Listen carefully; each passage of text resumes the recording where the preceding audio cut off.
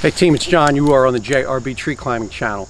I just showed you in scenario one how we can use this system to SRT climb in a conventional situation where we used a throw ball or left a paracord preset in a conventional tree.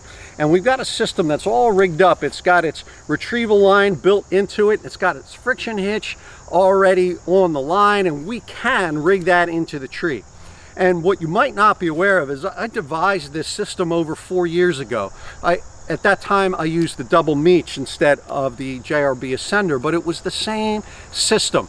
The reason I never showed it to you is simply because I find DSRT advantageous.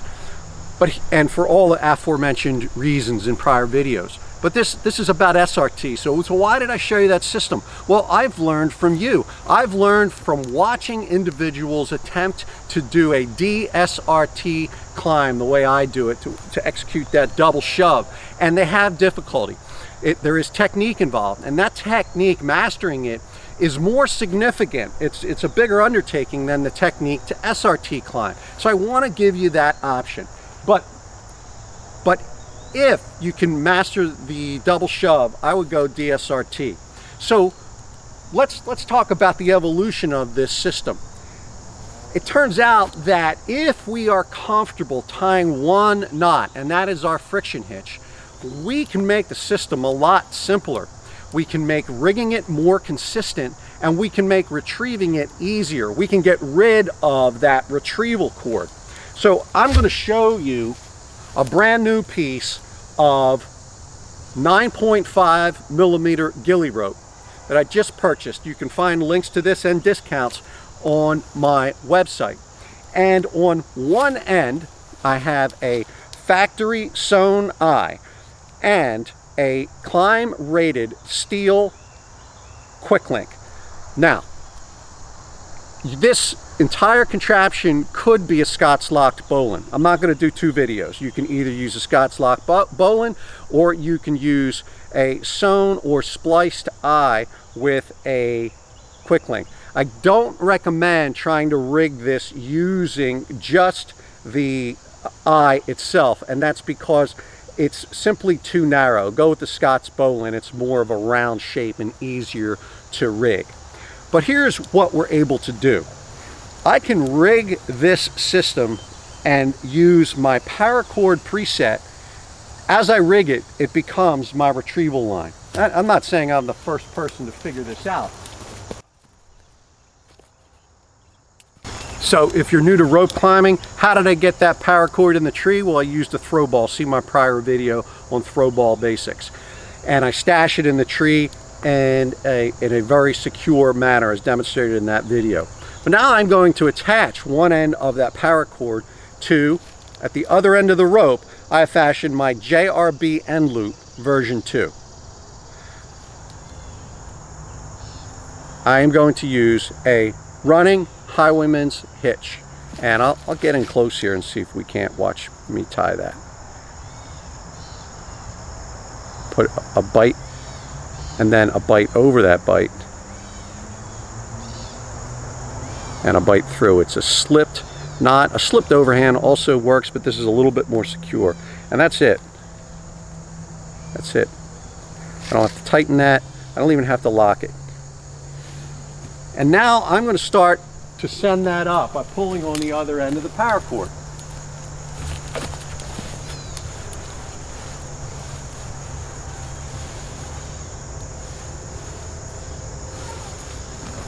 And at the point, at the point where the quick link is going to disappear, I pass the paracord through it. Okay, pass a bite of paracord through the quick link. And continue to send that up. So current time I have one working strand on my right hand and I've got two running strands in my left hand. I want to make sure I never lose the, the end of the paracord. And here comes the rope. It's back down to me in my right hand. And I just have to finish setting it.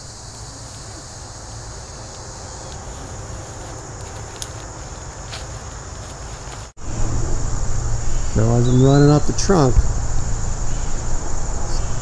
zooming in, we'll get to the crotch, which is significant. There's my canopy anchor.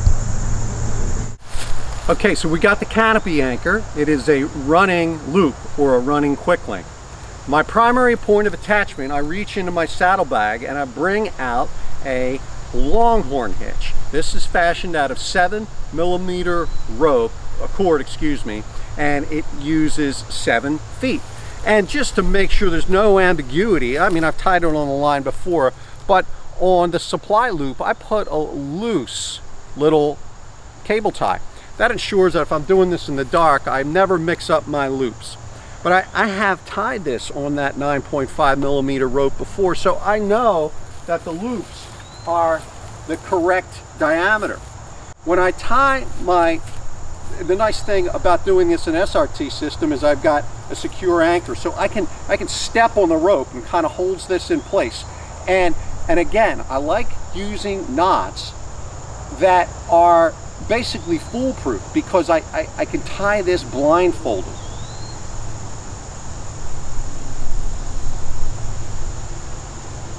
So see my prior video on the Longhorn Agile hitch, but it's that easy to tie. And if we can master that, we've got ourselves an SRT system. So anchor is a running loop or a running quick link. My primary means of attachment is the Longhorn Agile hitch.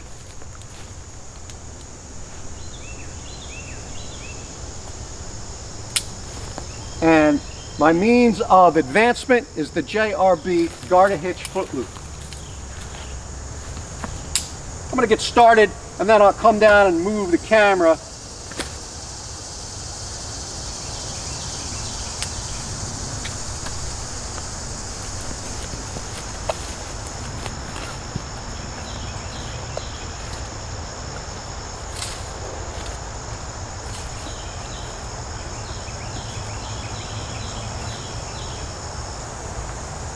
So I know you've got, I've got my back towards you here, but I will point out that I've got redundancy here, right? My JRB Garda Hitch foot loop is ensuring that I have two points of attachment to the rope.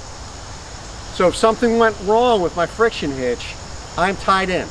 Now something rope climbers should get used to is that, you know, the, the fact that we can float back and forth, I know that's uncomfortable in the beginning, but again, gravity operates vertically.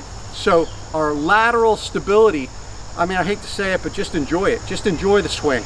Gravity will put us where it wants us to be, straight underneath our tying.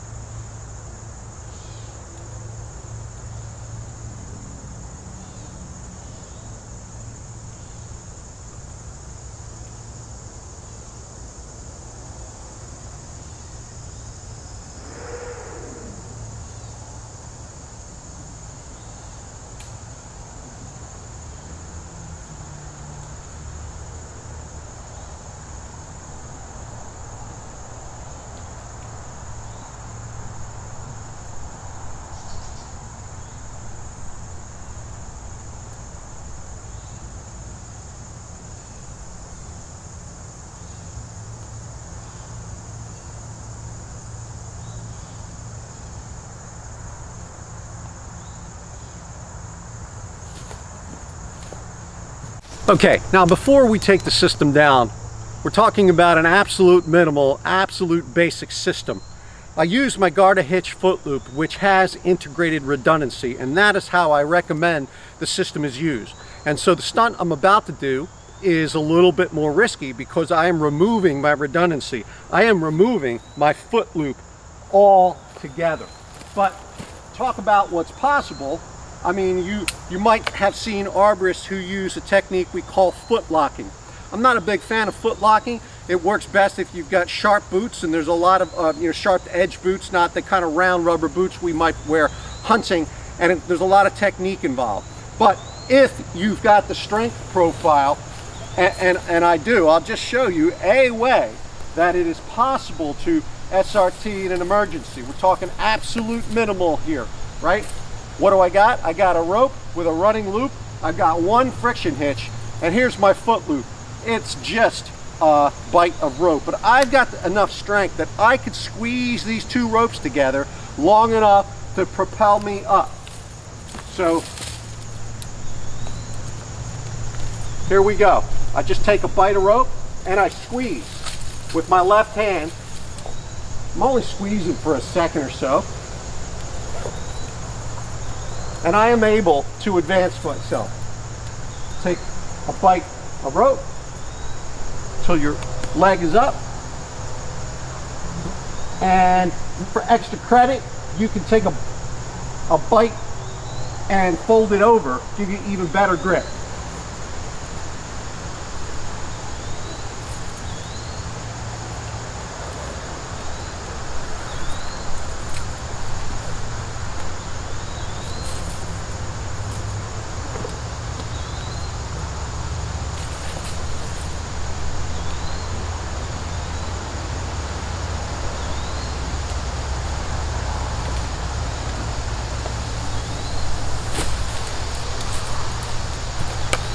Obviously there's some hand strength and some coordination involved in that stunt, but showing you all my tricks.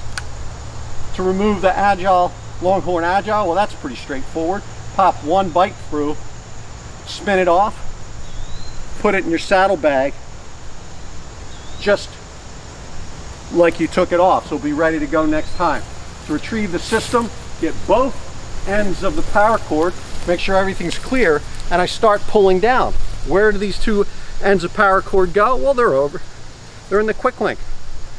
I just start pulling down. Now, I know you're not going to be able to see this, but heading up on the other side is that running highwayman's and it is about to pop through the quick link. And there we go.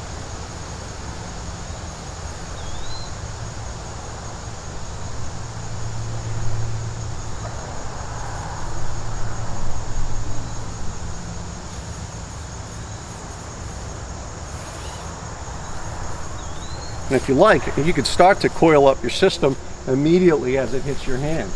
And so I think I'll do so.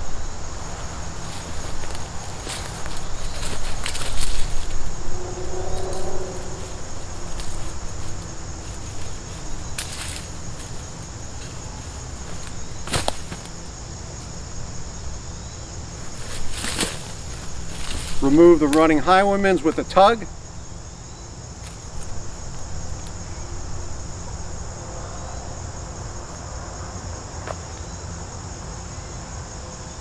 finish my alpine coil, my butterfly coil.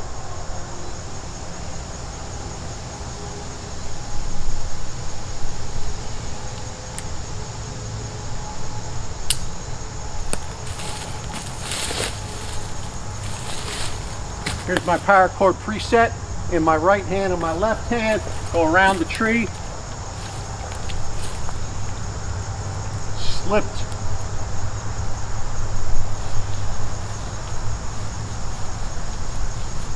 slipped overhand and back up. There you go. There's an absolute minimum SRT system. And what I like about this is this, there's nothing on this rope, right? I, there's plenty I can do with this rope. Um, I could transform it into a DRC, DSRT system pretty quickly, right? Because the agile hitch is so easy to put on. Okay, All right, now uh, coming up next in the video series, we're going to start to tackle some of the scenarios that that are more complicated, ones that where you can't really find a viable crotch in the tree, and, and ways to rig that and get an SRT system up there. And uh, if, if appropriate, when I return to that tree, we'll use false crotches or floating anchors. A lot to show you. Thank you.